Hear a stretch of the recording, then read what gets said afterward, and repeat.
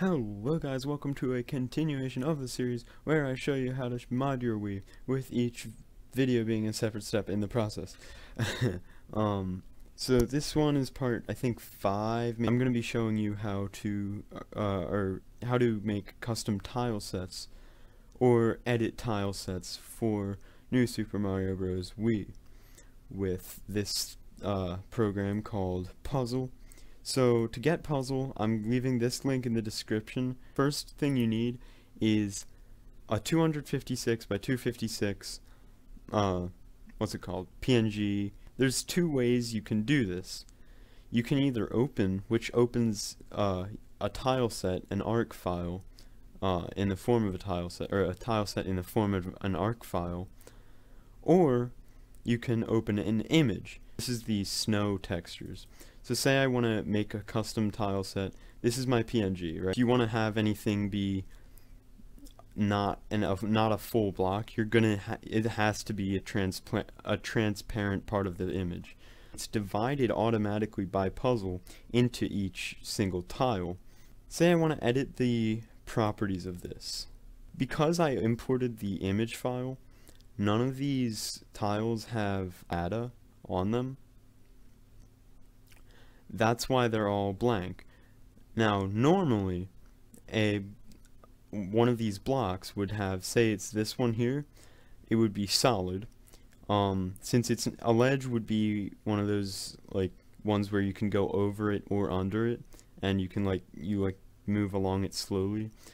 Um, and it's no passing because you can't pass through the block um, when it's on layer 1. And I'm just going to make a note here. The pass down option, that is used in the game in the form of the hidden blocks, where if you hit the bottom of it, it'll you you actually do hit something, and then those blocks do end up turning into uh, a used block. But I've tried using the pass down option, and it didn't work. Uh, so you I you're probably not going to have much success there. And then you can set this as a mini Mario section. Um, you can set this as a pipe so that if you put a pipe entrance on it, it would work like a pipe. You can set it as a slope, or you can just set it as a normal block, which in this case it is a normal block. It's just a it's just a floor. You can actually change these settings. Um, no, not these ones these ones. um, and you can actually add effects. So for instance, since this is a snow block, I can add snow. I can turn this into a snow block, and that means that when you when you walk on it, little snow particles kind of uh, like show up at Mario's feet.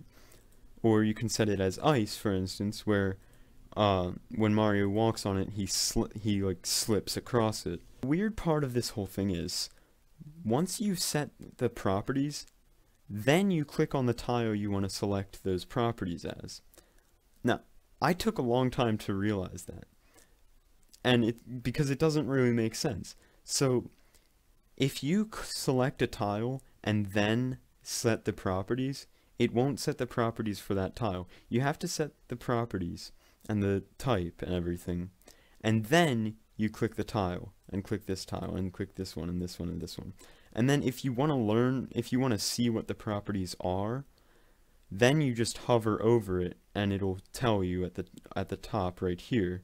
It'll say ice or whatever whatever else is different about it. For this one, you would set a uh, slope. You set a slope up. This would be a ceiling slope like this. Um, so, and then you would be able to set any of these uh, these types of slopes. And there, this uh, this one I actually didn't know existed until I until I saw it on this program. I didn't know it existed. I don't think it's used at all in the game. Um, but I think it would be interesting. I'm actually thinking of using this feature in one of my future levels. Let's just say we finished all of this, right? Now we head over to objects. This is where you set all the properties of each individual tile. To make objects, which are what you can actually place in Reggie, um, you have to go to this Objects tab. You can set this setting to be whatever you need it for. So like the the repeat bottom option would work for trees like this, or re um, repeat is just what most blocks are, where you just as you add it, it just adds more. this is an example of a stretch center object, where basically that middle section, no matter how uh, wide or tall I make this, this, the middle will always stay the same and the edges will always be edges.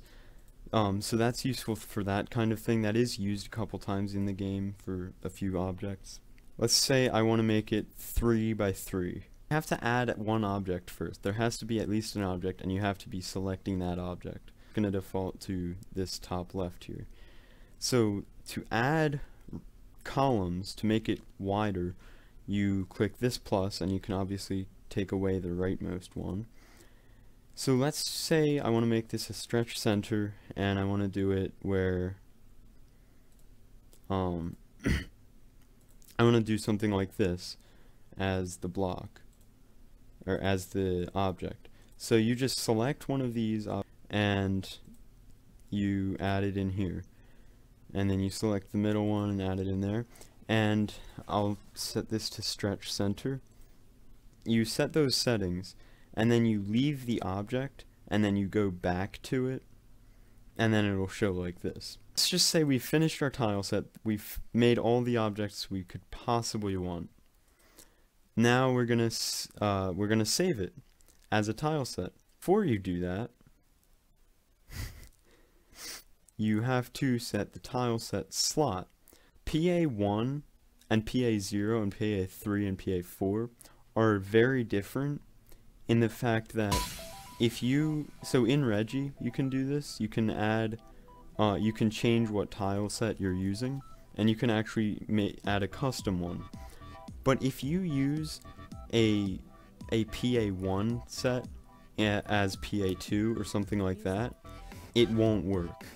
Um, the game, for some reason, doesn't recognize that sort of thing, or that, uh, the wrong tile set slot, and Reggie doesn't either. Um, so what you have to do is, sorry, you have to set it to the correct slot. So in this case, that's PA1, but I'm going to set it to PA2 instead.